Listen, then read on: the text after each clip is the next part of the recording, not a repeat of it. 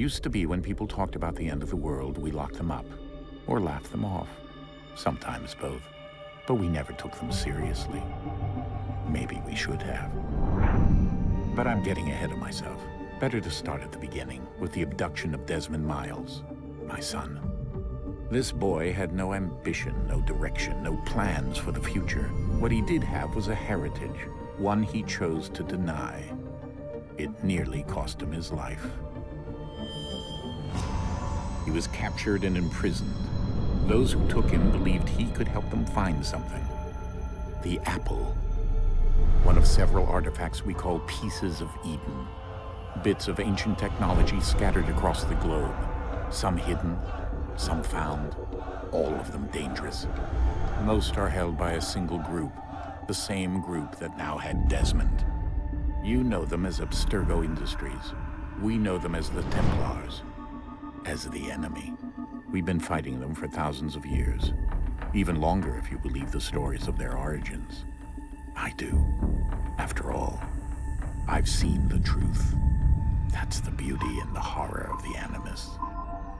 A device that allows us to enter and experience the lives of our ancestors. It holds the power to change everything, to show us history the way it really happened. Up until its creation, to the victor went the spoils.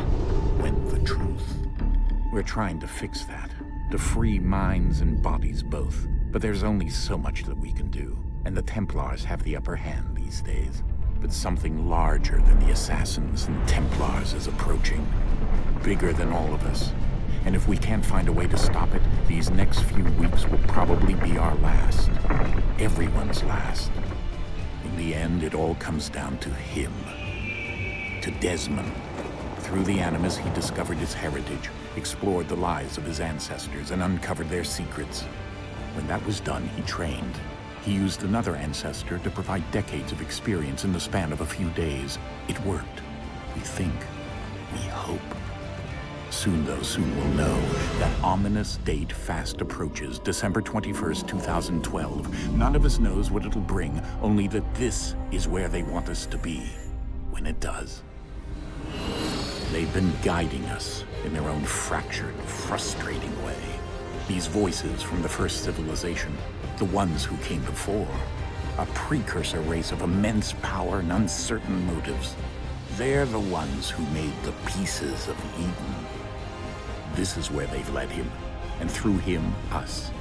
He stands at the entrance to this long-lost place, armed with the knowledge of Altair and the abilities of Ezio. He holds in his hands the Apple of Eden, and we stand at his side, ready to support him however we can. His name is Desmond Miles, and he has brought us to the end.